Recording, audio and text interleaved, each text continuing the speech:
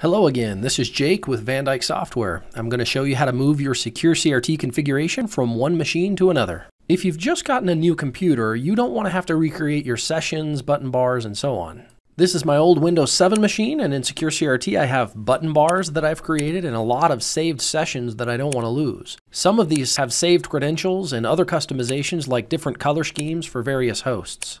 First, I export my configuration to an XML file. In the Tools menu, I choose Export Settings. This is only in version 7.3 and newer, so if you're on an older version, perhaps it's time to consider upgrading. In the Export Settings window, I'll enable all of the options, including license. I'm only exporting the license here because I actually own the license, and I'm the only one that will use the resulting XML file. Then I'll choose where to save the resulting XML file, and I'll name it something extra special like my. I press the Save button, then the Export button, and I'll sit back as SecureCRT exports all of my saved settings.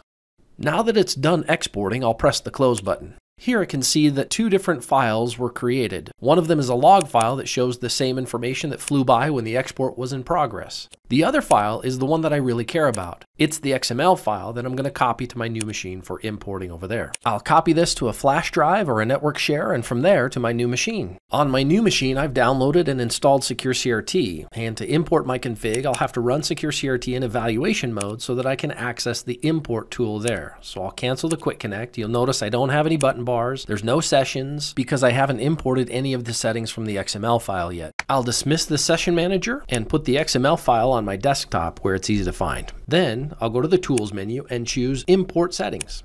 I'll import my license data since I own the license and I'm moving to a new machine.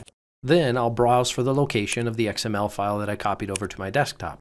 I'll press Open, then Import, and then I'll wait for the configuration data to be imported. Once the import is finished, I'll shut down SecureCRT and start a fresh instance.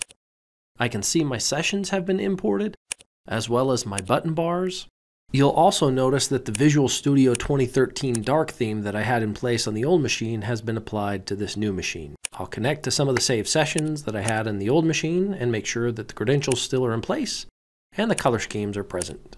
Okay, so now you know how to use SecureCRT's export-import tool to move your configuration from an old machine to a new machine. Stay secure, my friends.